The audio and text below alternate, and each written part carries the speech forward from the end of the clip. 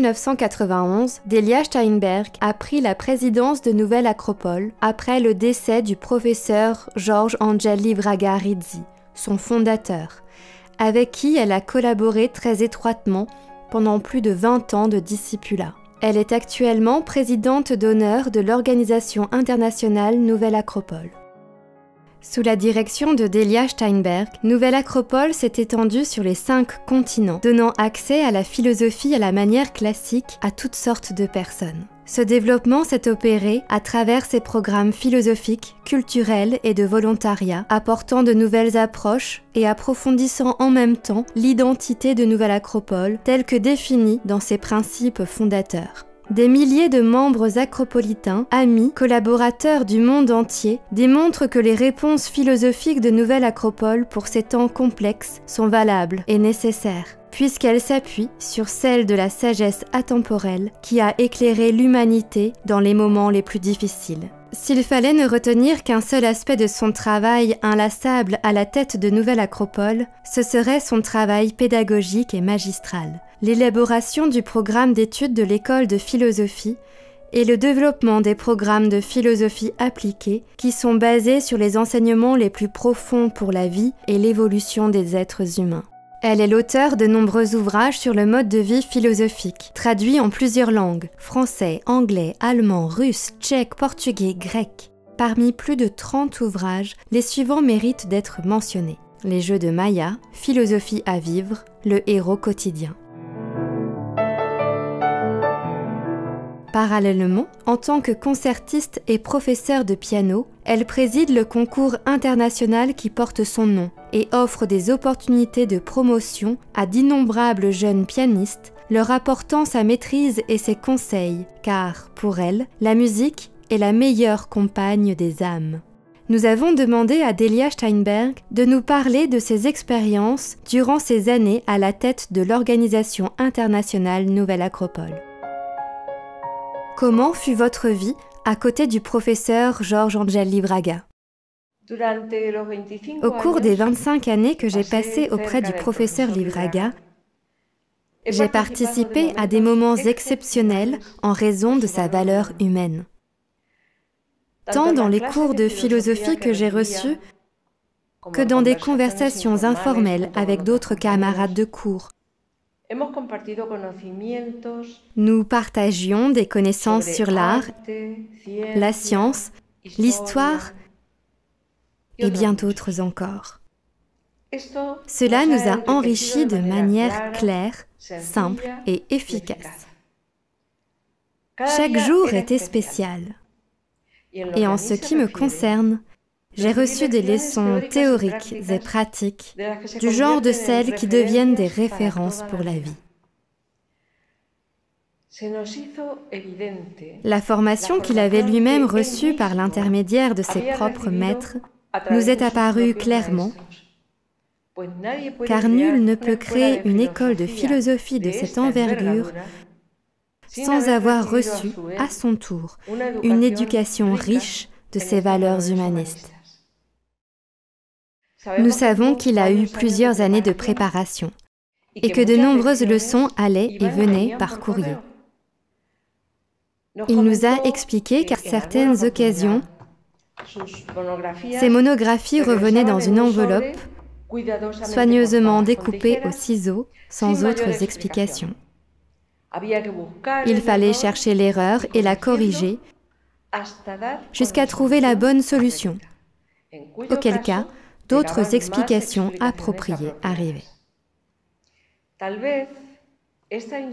C'est peut-être cette instruction qui a rendu sa patience immense. Et il était toujours prêt à répondre à nos questions. C'est la première personne que j'ai parfois entendu dire ⁇ Je ne sais pas ⁇ Et cela m'a inspiré une grande confiance. Seuls les vaniteux sont sûrs de tout savoir.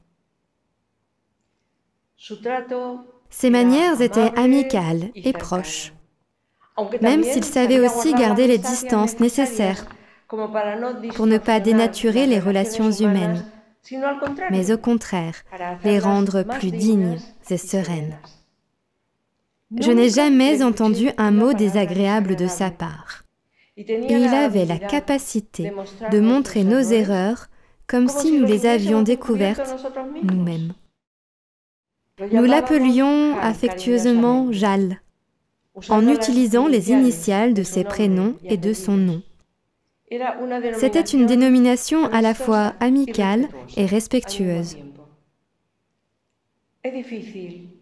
Il est difficile de trouver une personne d'une telle stature morale, philosophique et spirituelle, qui utilise un langage et des exemples si naturels que n'importe qui peut les comprendre. Heureusement, ses écrits et les images de tant de bons moments partagés le gardent vivant dans ma mémoire et dans celle de beaucoup d'autres. Quel bilan faites-vous de votre mandat à la tête de Nouvelle Acropole depuis près de 30 ans? Si je devais faire un bilan le plus objectif possible, je dirais que c'est comme si j'avais vécu plusieurs vies, en additionnant des expériences de manière continue mais intense. Lorsque j'ai commencé mon mandat de présidente internationale, Nouvelle Acropole était relativement petite,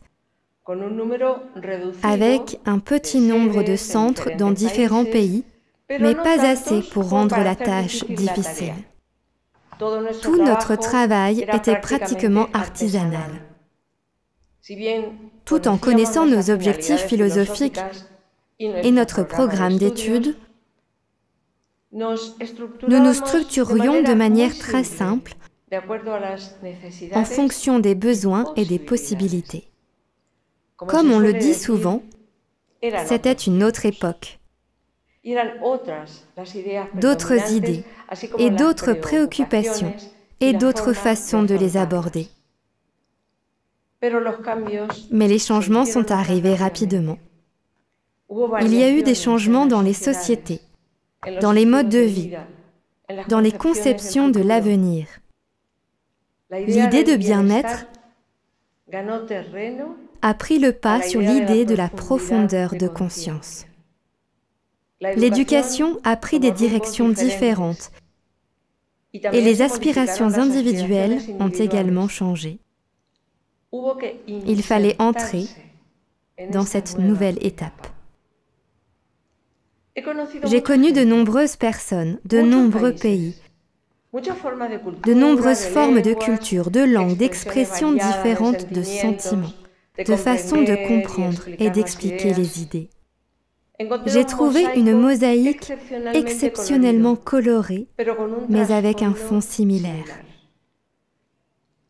Dans la profondeur intime de chacun, il y a un facteur commun, le sens de la vie, qui comprend l'intelligence, l'amour et la volonté de la vivre, un besoin de sagesse et d'être chaque fois meilleur. Mon bilan est en général bon. Nous avons fait de notre mieux avec quelques erreurs, bien sûr. Mais la confiance dans les possibilités innées de l'être humain nous a permis d'aborder de nombreuses nuances nouvelles qui n'avaient pas été conçues jusqu'alors. Et nous l'avons fait avec confiance et avec joie.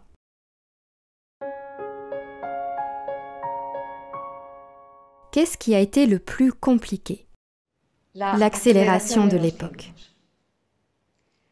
Le XXe siècle, peut-être le plus court des siècles, comme l'a dit un illustre personnage, nous a fait croire que tout allait se dérouler progressivement, sans grand bouleversement.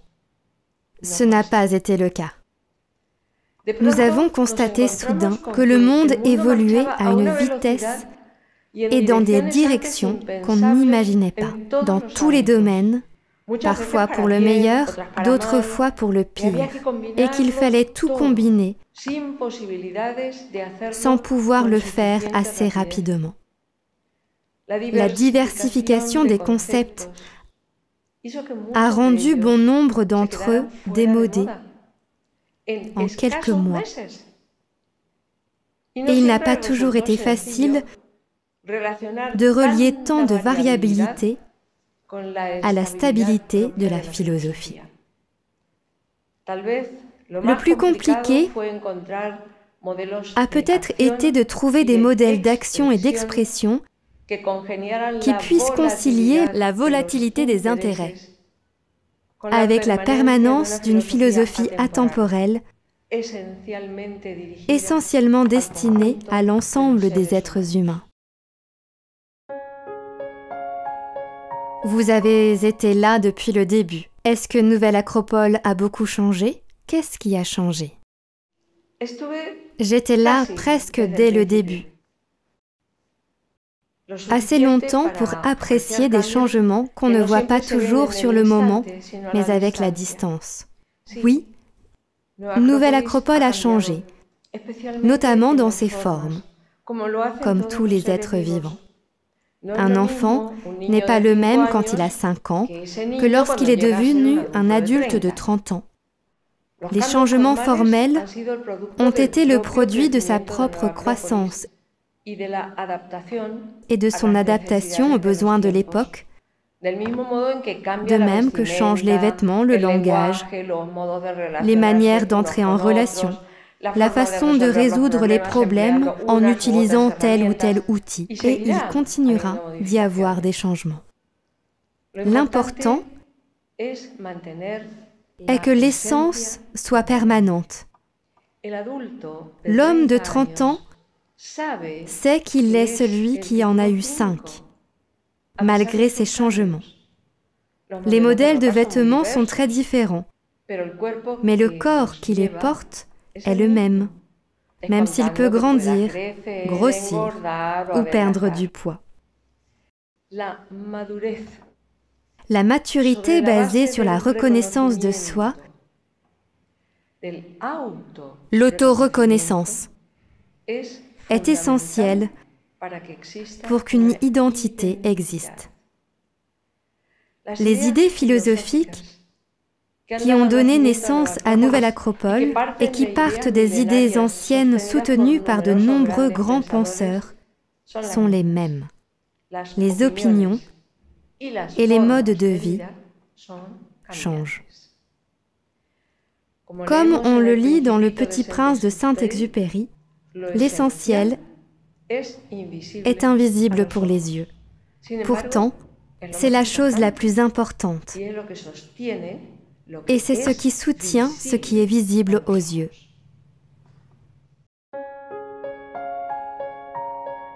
Il est clair que nous vivons une grande confusion en ces temps. Il est très difficile actuellement de trouver des valeurs stables et basées sur le sens de la vie, ce qui signifie que dans une bonne mesure, nous manquons d'avenir. L'incertitude domine aujourd'hui et demain. Une situation qui affecte particulièrement les jeunes générations qui manquent de soutien et d'espoir. Comme on le sait, les troubles psychologiques, les tendances à fuir la réalité et même le suicide sont en augmentation. Le tableau n'est pas rose. À moins que des changements substantiels ne soient apportés, ce qui ne donnera pas de résultats immédiats. Mais il faut commencer le plus tôt possible. Nous devons recourir à des remèdes atemporels qui ont donné leurs fruits dans les périodes les plus sombres de l'histoire. Même si nous nous référons à notre Moyen Âge le plus proche et connu, l'art, sous toutes ses facettes, a réuni des âmes spéciales et a établi des liens d'amour qui ont donné lieu à la Renaissance. Tous les êtres humains veulent connaître l'amour, l'avoir ou le chercher. La philosophie est basée sur l'amour, précisément parce que c'est la racine du mot philosophie. c'est l'amour de la sagesse. Et celui qui cherche la sagesse apprend à aimer tout et tout le monde. On pourrait affirmer que la majorité la cherche et que quelques privilégiés l'ont. Et même ceux qui l'ont continuent à chercher pour la perfectionner. Aujourd'hui, il est habituel de restreindre l'amour au sexe, en oubliant de nombreux autres niveaux d'expression de l'être humain, tels que la sensibilité, l'intelligence et la spiritualité. Cet appauvrissement du concept de l'amour, les unions de toutes sortes, rend faible et éphémère.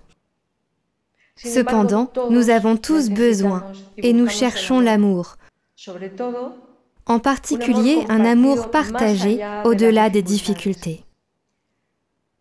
La recherche infructueuse et mal orientée conduit les gens à se contenter de substituts instables qui créent encore plus d'incertitudes. L'amour est la force qui nous pousse à bien faire les choses.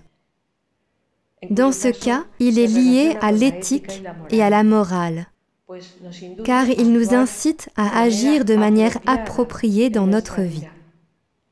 Il nous conduit ainsi à la paix, à la tranquillité, à l'épanouissement et au bien-être avec nous-mêmes et avec les autres. J'ai pris une phrase que j'ai lue d'un sage. Nous ne savons pas vraiment ce que signifie l'amour. Nous ne connaissons que l'amour basé sur l'attachement et la possession. La nature véritable de l'amour est la lumière intérieure qui révèle la beauté cachée dans les choses. Shri Ram. Ce qui nous intéresse, c'est l'amour dans son spectre le plus vaste, dédié à la nature tout entière et logiquement aux personnes. À Nouvelle Acropole, l'orientation sexuelle de chacun n'a pas d'importance, car c'est un libre choix. Ce à quoi nous aspirons, c'est que chacun puisse faire l'expérience de l'amour comme la lumière qui révèle la beauté immatérielle cachée en toute chose. Quel est le rôle de la beauté dans la vie? L'art nous met en contact avec la beauté dans son sens le plus élevé. Il nous rapproche de l'harmonie et de l'équilibre extérieur et intérieur. Il est vrai qu'en période d'incertitude comme celle que nous vivons, on a tendance à confondre les choses, à rechercher la plus facile, la plus excitante et peut-être la plus attirante par sa laideur. La laideur nous a dominés au point que nous acceptons toute création comme étant de l'art, même si elle contredit les critères les plus élémentaires de beauté. Et il faut beaucoup de courage pour dire ⁇ je n'aime pas ça ⁇ Ceux qui défendent la laideur pour dénoncer ou ridiculiser une société injuste ou trop rigide dans ses concepts ne manquent pas. Mais ce n'est pas une critique constructive. Il ne suffit pas de montrer ce qui est laid, mais il faut trouver ce qui est vraiment beau. L'orientation édifiante de ce type de laideur suit les paramètres indiqués par Nietzsche quand il signale l'existence de l'art de l'âme laide.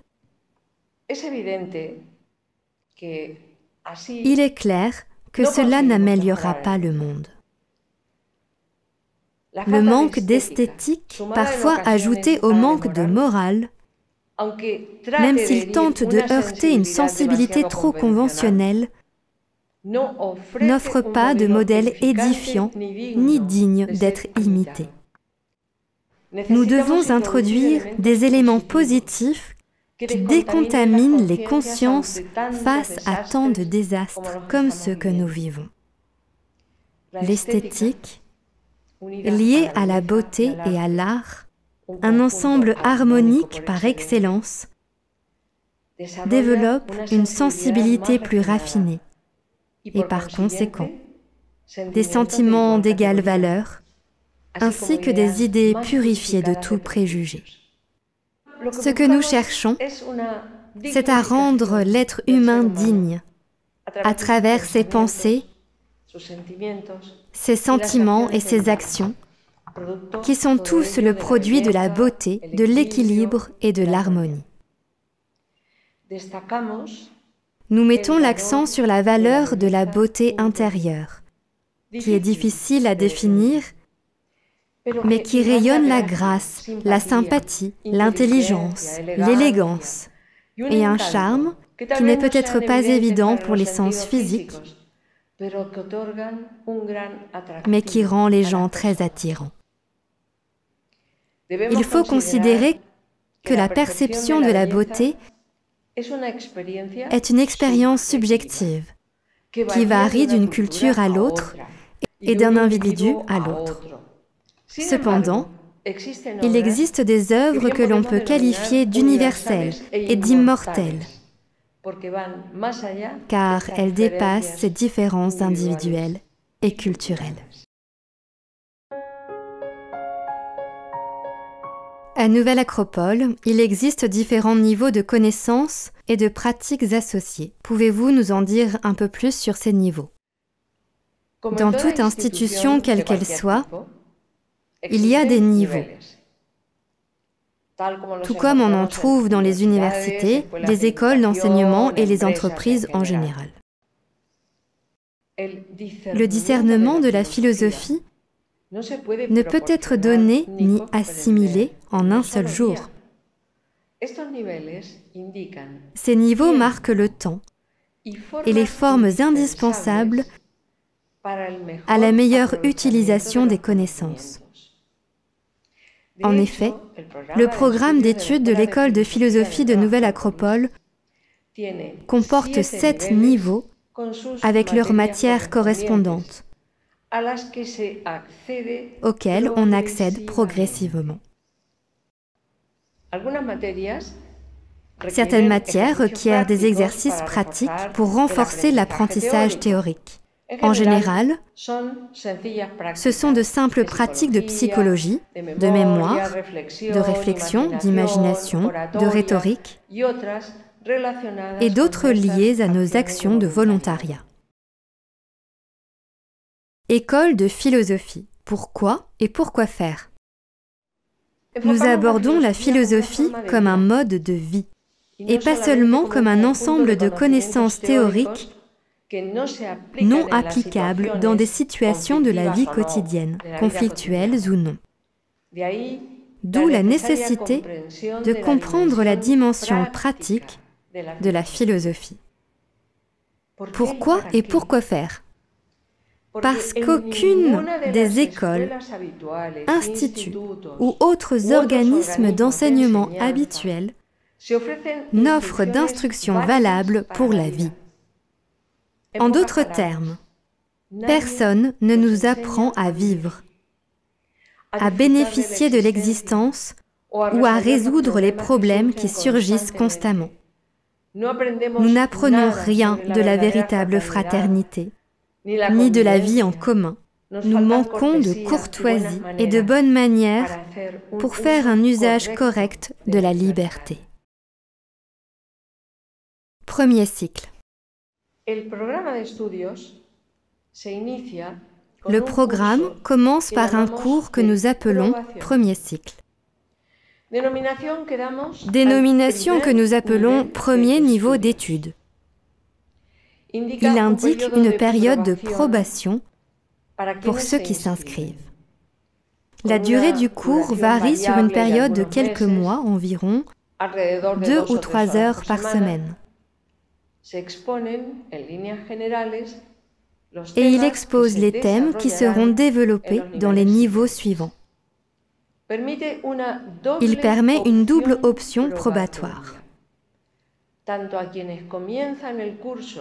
À la fois pour ceux qui commencent le cours pour décider s'ils sont intéressés à continuer et pour ceux qui le donnent et peuvent évaluer la réussite des matières enseignées. La réussite de ce cours d'introduction est validée par un diplôme.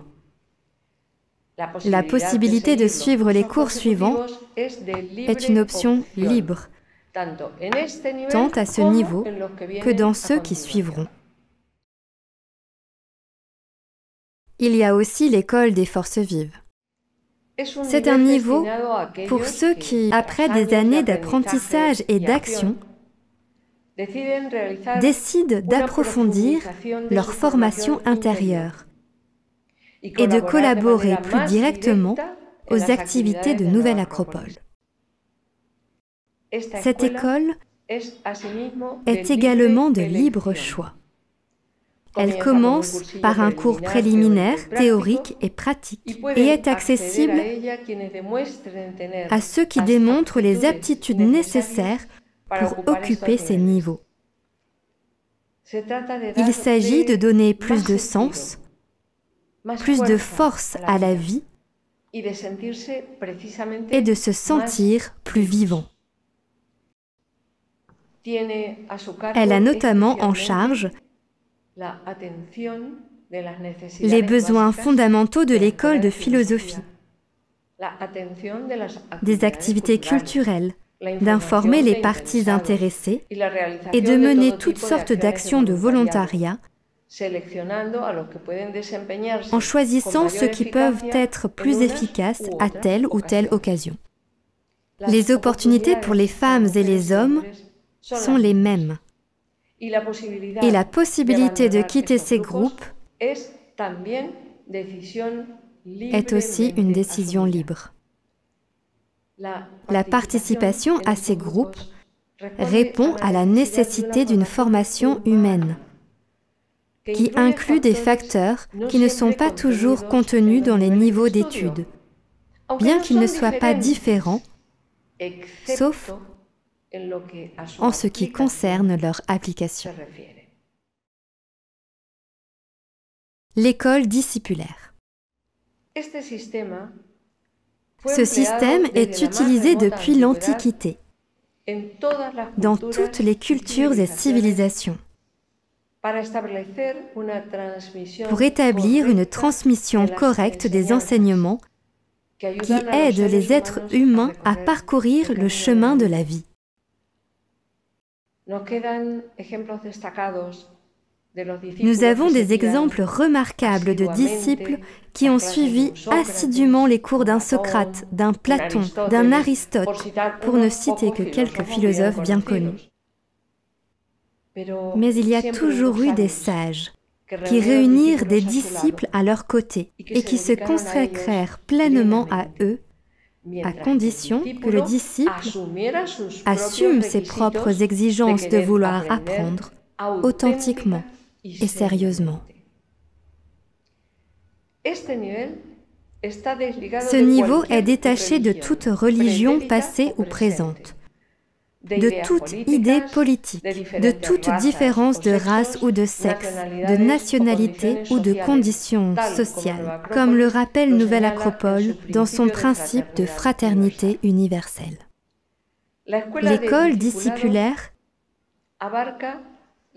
comporte les mêmes enseignements que ceux du programme d'études, en mettant davantage l'accent sur le développement des valeurs morales, philosophique et spirituelle.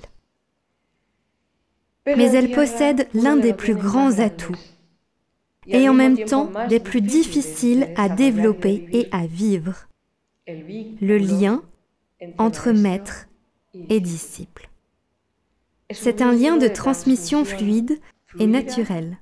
C'est l'amour au sens le plus pur du concept, puisque les motivations personnelles et les situations subjectives n'interfèrent pas. Il est important de préciser qui nous considérons comme maîtres. Tout d'abord, nous nous basons sur les grands personnages qui se sont distingués dans toutes les civilisations. Et dont il reste des références historiques suffisamment valables, tant en tradition qu'en œuvre écrite. Nous les considérons comme grands pour leurs contributions qu'ils ont apportées, non seulement sur le plan intellectuel, mais aussi dans leur engagement pour l'évolution intérieure des êtres humains. Selon ce modèle, les maîtres ou petits maîtres qui enseignent à Nouvelle Acropole sont ceux qui ont accumulé le plus d'expérience et de réalisations éprouvées dans le temps et par les résultats obtenus dans le travail avec leurs disciples.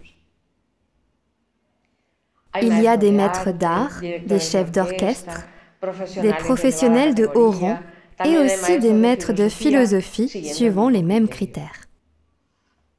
Ce n'est pas une dénomination étrange.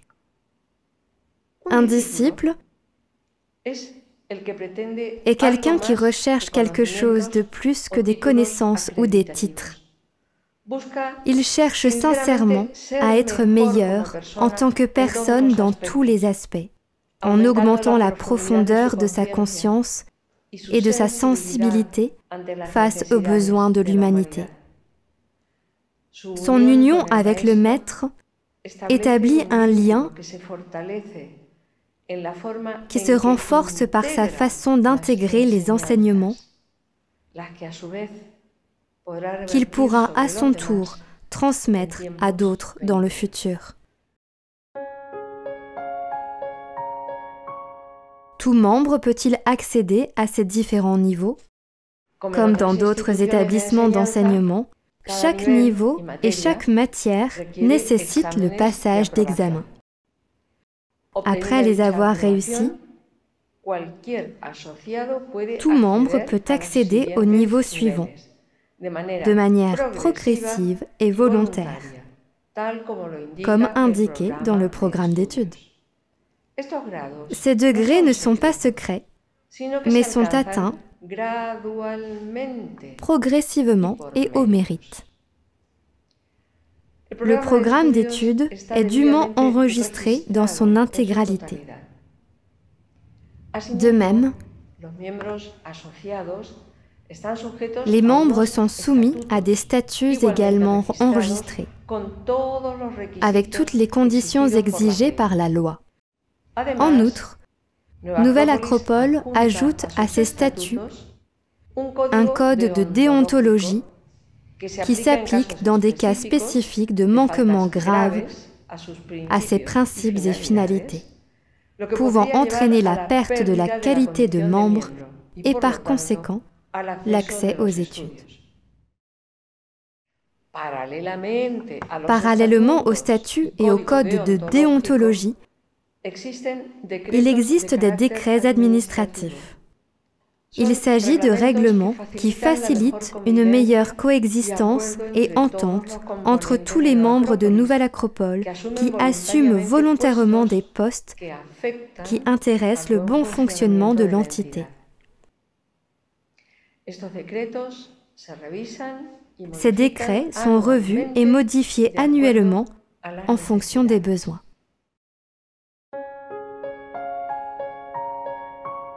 Qui sont les dirigeants de Nouvelle Acropole Comme leur nom l'indique,